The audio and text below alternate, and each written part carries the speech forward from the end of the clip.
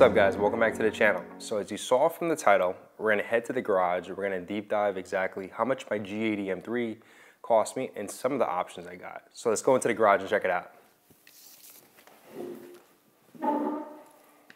All right, so I have my 2022 G80 M3, and what we have here is the window sticker. And basically, I laminated the window sticker. I'm that type of guy. I have two copies of them, both laminated at FedEx. And if you guys are really OCD like that, head over to FedEx. I think it's like three or four bucks to get it laminated. But we're gonna deep dive into exactly what options I have and why I chose them. End of the day, I'm gonna give you guys a breakdown on price. All right, like I said, this is my 2022 G80 M3 in BMW individual paint color Imola Red. So the first thing right off the bat, we're gonna talk about the paint color. The paint color is a very historic BMW color. Uh, the first time it came out was back with the E46 M3. And ever since I saw that color, I always fell in love with it. So when picking out the color, I knew I had to pick this one. And just to give you an idea, this is a $3,750 option back when I ordered the car. And I'm gonna tell you everything. When you order a M3 or M4, now it's gonna be totally different than what I'm pricing out about a year ago because inflation, you're talking about the cost of raw material, the cost of labor, everything has gone up in the past year. So when you're ordering an individual color, you guys have to know that it's gonna take time. It's gonna take a little bit longer than your regular production. And with this special paint color, um, the, the dollar amount was about $3,750 that I paid to get this specific color. And right off the bat, we're gonna look at the next option I opted for. Me personally, my personal opinion, I needed a six-speed manual, so check it out. So what you're looking at is a dying breed, right? Six-speed manual transmission, and in my personal opinion, I think it's more engaging to drive, and I don't really need something that's the fastest car. I look more into having the proper engagement running through the gears and things like that. Sure, when you look at it, the all-wheel drive competition, you're pushing a lot more power, you're pushing about another 50 to 60 extra horsepower. My personal opinion, I didn't need that. I, I cared more about the drivability and also the engagement of the car, so which is why I opted for the six-speed manual. So with the base car, we're gonna talk about the price. The base car itself with any options, you're looking at $70,100 for just the base price back in 2021 of December. So that's when I ordered my car. All right, so we're gonna continue with the exterior. We'll jump into the exterior later, but as you can see, we have the 826M wheels, and as you can see on the pattern, these are the bicolor. The reason why I went with the bicolor is that I honestly think the bicolor has a little bit more of a character when it comes to the wheels. The other options are entirely black wheels, which I wasn't a really big fan of. And if you like black wheels, that's for you. But for me, I just feel like the black wheels gets hidden in this whole scheme of the design. But going back into the wheels, behind that, we have red calipers. So check it out. We have red calipers. Does it entirely match the Imola red? No, it does not, but it definitely goes to the whole theme. This one's more of a lighter color red compared to the Imola Red. The Imola Red's more of a deeper, um, kind of like a blood red, so to say. But as you can see, I also lost the tire lottery. These are the Pirelli tires that are known on the forums. If you get these tires, you lose the tire lottery. Um, obviously, the Michelins would have been a little bit more of my ideal based on the performance in the wet, also the dry. The Michelin's uh, absolutely performs a lot better. From everybody what's been saying, and me personally having these tires since uh, the end of June, you can definitely feel the difference because I've had the Michelin PS4s on my F80 M3 and those grip a lot more, especially in the rain and also on the dry. So go along with the exterior of the car. One thing that's very notable. So if you guys are seeing a G80, G, G82 M4 on the road, if you see a chrome badge like right over here, this means this is gonna be a manual car. And check out towards the back. Well, look at that chrome. I originally thought I was gonna change this out for like a black emblem, but as the manual cars become a dying breed, and the reason why I say a dying breed because I think I mentioned it before, BMW is probably gonna be getting rid of the manual transmission. I think we saw some hints about it when they announced the M2, um, but I think this is a badge of honor. So I'm gonna rock it. comes with either an 8-speed M Steptronic automatic transmission or, and making the BMW M2 the last of its kind expected in this segment, a manual transmission. So when you're building your car, one of the options that you could do that's a zero dollar option is the black shadow line exterior trim. And that's something I chose because if you look at the car, it looks a lot more aggressive. One of the cons about having the black shadow line trim is that if you don't get a PPF, we all know high gloss gives you a lot of swirl marks. if you're just like me and it bothers the hell out of you seeing these swirl marks, then you're definitely gonna wanna get that PPF because over time, regardless if you do the proper uh, maintenance washes, the two bucket method, the three bucket method, you're gonna see those swirl marks. The only way to kind of prevent that from happening is get a PPF. And if you guys haven't watched that video out, um, I'll link it in the description. It's a whole PPF series where we got the car prepped and all that. So I'm interrupting this portion of the video to thank our sponsors, and that's coming from Simply Carbon Fiber. As you can see, Simply Carbon Fiber sent me a lot of different accessories, but today we're gonna talk about their wallets. You have the Alcantara made with real carbon fiber wallet. This is more of those wallets where you wanna use for a lot of options where you can hold a lot of cards and your money. But I'm not gonna lie, one of the most uh, of their accessories I've been using daily is actually gonna be their carbon fiber money clip. They have two different versions. You have the forged carbon, as you can see right over here. And I also have the traditional two by two weave carbon fiber money clip. And this is something that's gonna hold all your cards along with your money on the back. I'm not gonna lie, I use this a lot because I like to keep my pockets slim. On days where I need to hold a little bit more, I use their Alcantara wallet. So if you wanna pick up anything from their website, you can use this discount code right over here. That's gonna save you some money. Now let's jump back into the video and, and tell you guys all the other options I picked for this car. So I'm gonna reference this, the F80 M3. You know how when you guys went from 2015 over to 2018, when you look at the headlights, one of the most things that kind of stand out to me is the Icon headlights. And that only came on the 18 uh, F80 M3s, I believe also the M4s. And they actually went into the 19s when they continued the M4 throughout that year. And when you look at these headlights, these are the Icon adaptive LED laser lights. And when you look at these, light, these lights, it looks incredible. I'm gonna let it start up real quick. These lights itself makes it full, makes it more aggressive. And when you're taking photos and videos, this just absolutely looks insane. The ones that are not the Icon Adaptive LED headlights, you just have a little, I guess, eyelid on the bottom here. And for me, that incompletes the look. Having these lights here definitely amplifies the aggressiveness of this car. So if you guys are building this, definitely check this out. This is a $1,000 option that I absolutely think it's worth it. And if you ever get to the point where you're about to sell your car, I think a lot of people are gonna be looking for this as an option, especially a good buddy of mine, uh, Walter. He just picked up a gorgeous Daytona Violet uh, G80 M3. And one of the main things he was looking for was the adaptive LED headlights. And he has them. I think it's one of the best things that you could probably do on your option and it's not gonna break the bank. It's a $1,000 option.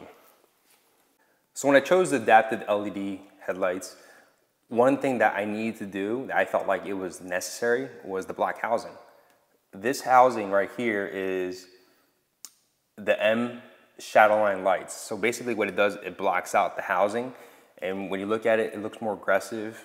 A lot of times you don't notice this on a feature for other people's cars, other people's builds. But when you really think about it, that looks a lot better. So definitely consider that. This is a $300 option. And end of the day, if it's worth it, it has to go with you and asking yourself, is it worth it? I think it's worth it for the $300. So the next option I'm gonna talk about that I selected for myself, and I didn't have it on my F80 M3, was actually the executive package. Check this out. This right here is the module for the executive package, or one of the options, which actually displays your heads-up display. So the heads-up display was something that I never had on my F80 M3, and when you see other people driving with the executive package, kind of makes you feel like, damn, I should have got that. But again, the F80 M3 was actually a used car, so I didn't really have that option. Um, what's so good about the having the executive package is that you have the 360 camera. So if you're parked and you're worried about your surroundings sometimes, you could actually go into the app, uh, look at a 360 view of your car, making sure it's safe, making sure it wasn't molested or anything like that. And also one of the best thing that I've seen that I've used on the executive package is that having the front cameras are a lifesaver. So when you're pulling up to an intersection or pulling out of a parking spot when you're backed in, I hit the front cameras just to make sure that it's clear instead of worrying about inching out slowly. So that option there alone increases the safety, it also increases the ability to not get into those minor fender benders. Um, not that I have any issues, but it gives me the more confidence. And I honestly think it's one of the best things you could do. It gives you a heated steering wheel, right? And a lot of people really could care about that. It's something that keeps you nice and warm during the winter times. Me personally, we live in South Florida here. I don't really need it too often. This probably maybe one of those few days where I actually do. So when you opt for the executive package, one of the things that when you get it, right, I think what people kind of convince this is not the M3 anymore is that it actually has a powered tailgate. And my personal opinion, I actually like this a lot. It's literally one touch of a button and it opens, right? You're able to put your groceries down or if you're bringing car parts that you don't want to tell your significant other, you can put it in here and obviously automatically either close it or lock it. And I just hit the lock button, which automatically locks the car. I think that's a really cool option. I know a lot of the M3s previously in the past never had it, but I think it's a really useful option for me. So when you order an M3, M4, one of the options that you could pick is a non-cost option, right? You could either pick a moonroof, right? Or you could have the carbon fiber roof. I opted to get the carbon fiber roof. This is something that I had on my F80 M3. I think this just adds to this aesthetics and also the heritage of the M3. Obviously, in the first generation M3s, they never had it. Uh, this really became prominent on the E9X chassis. And I think it looks really unique. There's not a lot of cars out there that actually has a carbon fiber roof that adds to performance. Obviously, this is better for a better center of gravity when you're racing, tracking the car and stuff. Most likely, I'm not tracking the car. I may take it on autocross, but we'll see. Um, but this is something that was an option for myself, and I'm glad I got it. It looks absolutely amazing, and it just adds character. I think as we get onto future sports cars, we know this is a dying breed where it's gonna be petrol. We're gonna have sports cars becoming electric. I think this is gonna be a very um, interesting uh, option to have. So let's go over to the interior options I selected. And one of the most important option was the carbon fiber seats, which I actually made a video about and check them out. When you look at these carbon fiber seats and you look at that carbon fiber back, it just looks absolutely gorgeous. At the time when I ordered this um, build, it was a $3,800 option. I believe that has increased to $4,500 now. You really have to ask yourself if this is an option for you. When I ordered the car, this is something that I definitely wanted. And if you look at the front of the car, or the driver's portion of the seat, it has aggressive styling. The high bolsters, you have the nice three-point harness where you can actually utilize this as a three-point harness if you were to race the car, track the car, or do you just want to add some more spice to your interior for car shows. All right, so to continue with the rest of the interior, um, one of the options I selected for myself was actually the carbon fiber interior trim. That was a $900 option. With the carbon fiber interior trim, what you have is carbon fiber in this portion of the center console, along with across the dash here for your passengers to look at and also scratch up if they want. And what I think is a nice touch is that when you look at this steering wheel here, right? This steering wheel has a carbon fiber trim all around the sides, and that looks absolutely more aggressive as more of a sports car. And you can see here, it kind of has, uh, it integrates into the steering wheel where it gives it a nice um, OEM touch, but not going over too board. So the M drivers package, as you can see here, it gives you a 10 stage traction control. This is something that I may use in obviously a, a parking lot or something like that where it's safe, but what you can do is actually drift. And this actually analyzes your drifts and kind of rates you. So for all you guys like to hoon around, this may hurt your ego or actually may uh, give you some ideas of how much more practice you need to drift. Um, I think this was a decent option to add. It was only a $900 option and I think it was something that I wanted to test out. Obviously, with these different stages of traction, which was I thought was pretty cool at the time. Um, have I used it? No, I haven't. So, do I think it's worth it? Um, If you're really tight on your budget, then probably leave this out. But if your budget's a little bit open, then maybe you could add this on. One of the things that people have asked me is, hey, Ken, why didn't you get the full leather package? So if you look at my dashboard here, the reason why I didn't want to go with the full leather dash is because after time, and I've seen this on multiple other F80 M3s, M4s, right? Um, I had buddies that had a dash here and it started lifting. The hot sun here in Florida, regardless if it's outside or inside the garage, whatever happens to these high temperatures, it allows the leather to lift up from the dash. And if I plan on keeping this car for a little bit, and I really think I, I want to, because this is the last you know, non-hybrid M3, so I think this is really special. Especially, I picked it up myself, I built it myself, I have a story behind it, so I definitely want to keep this car. But do I really want the dash out of warranty to start lifting? I really don't. And um, you know, one of my uh, good buddies, Kevin Tipton, he had an M4, and I'm not sure if you know this, Kevin, but when I was sitting in your back seat, uh, some of your panels on the side of your uh, your M4 were lifting. You know, because you had the full leather package. And I've heard heard of other horror stories where people actually had that problem. I didn't want to deal with that long term, and that's something that you need to look into if that's worth it for you. So, is it worth it? My, my personal opinion, for that dollar amount that you're paying for the full leather, it wasn't worth it for me, as long as you're keeping the car long term. If you plan on keeping the car for a few years, or it's in a temperature controlled environment, then maybe add the full leather. It definitely adds a nice um, interior touch to it, especially with the full leather on the dashboard here. You kind of have the Fiona red interior kind of cover it out. And one thing I wanted to add too, as you can see from the carbon fiber seats and also me sitting here, we have Fiona red interior. And the reason why I wanted to go with Fiona red interior is because when I was building this car, I wanted a loud spec. And the reason I wanted a loud spec is because I always wanted something a little bit more aggressive than what I had before and I had an Austin yellow car. So we have, I call it triple red. The red exterior, you get the red interior, which is the Fiona red, and also the red brake calipers. Is that too much red? That's for you guys to decide.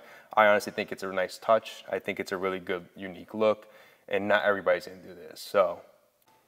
All right, as you can see, this emblem, it's a very unique emblem. It's not the ones you've seen on a lot of BMWs, and when you look at this, this is one of the newest emblems they've had it's a traditional emblem that had back in the day, but they brought it back. And this is gonna commemorate the 50 years of M. And the reason why I have this, people always ask me, hey Ken, how did you get these emblems?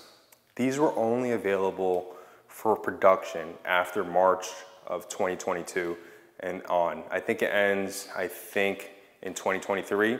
So I was actually lucky to have this. And the reason why, I guess things happen for a reason, my order was pushed back a long time, which actually gave me an option of getting these emblems. So when Marcus Cooper actually texted me and goes, hey, Ken, I think you're gonna get these emblems, I was, like, I was actually pretty excited. Um, these look very unique on this car because that red here kind of goes with the Imola red, so it doesn't clash too much. But when you have different colors like uh, green or things like that, it may not look the best. But I definitely like these emblems. I'm gonna leave these on. I know some people are not big fans of them. And with these 50th anniversary emblems, you actually see them on the wheels. You got it on the center caps, and you also have it on the front of the hood.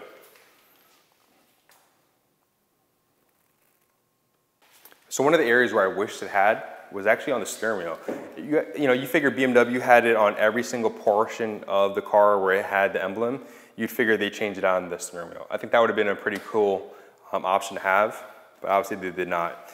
And I've had some people ask me, what are those formats? Those formats are actually specifically only for um, when you opt for the Fiona red interior. As you can see, the pipeline red interior trim, it kind of gives it a different look.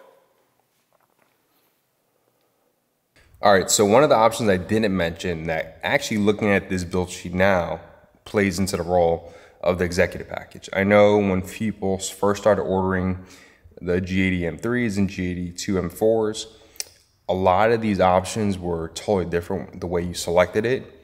And in 2022, they made it more a la carte. So I know when I was building this car, I told Marcus Cooper, my sales advisor, that I wanted the 360 camera. And the 360 camera used to be part of the executive package, but they took it out, they made it a la carte. So it is what it's called now is the parking assistant package. So during the time that I was building my car, they renamed that option, the 360 cameras, to the parking assistant package. And what that included too was the drive recorder. And one of the best options and best attributes about having the drive recorder is that it acts like a dash cam. So it records sometime before the incident and also sometime after the incident. It allows you to have that peace of mind where you're unable to explain it or you don't have any witnesses for God forbid an accident. You have it on there on the iDrive system. What's so good about it too is that if I have some people driving reckless and stuff, I want to record it. I could hold um, that camera indicator button right over here. And that allows me to basically record, I guess, sometime before and sometime after. Um, and also, again, acts like a dash camera. Um, obviously, you probably should get an independent dash camera and to record. Um, probably it's a lot better to have just in case. Um, but again, that was an $800 option, and I'm glad I got it. The 360 cameras, like I mentioned uh, earlier, is a great option to have and it allows you to have that peace of mind when you're getting in and out of the spots. All right, so the total cost to build my car was $85,445. And that does not include any taxes and fees, dealer fees. That does include the shipping fee that's a universal charge on all builds, and that's 995. But other than that, this is pretty much everything that I talked about. Um, this is an incredible build. Is it a fully loaded car? No, it's not. And we're gonna get into a video where I kind of regret things I didn't get and kind of regret things I spent money on. And we'll get into that video later on. All right, so I'm gonna wrap this video up. I wanna thank you guys for watching this video. I also wanted to make this video for quite a little bit. It's been a little busy. Hopefully this gives you a better idea of what options that you may want on your build. And this is another way of looking at somebody else's thought process of building their M3. Um, for the ones that are not building a brand new M3, you know, the used car market has a lot more M3s, M4s coming onto the market. And my advice, take your time, find the one that you want because you're spending your hard-earned money to get a nice car. So you wanna wait for the right one. Um, but I wanna thank you guys again. If you guys have any questions about some of the options I got, let me know in the comments and I'll see you guys on, on the next video.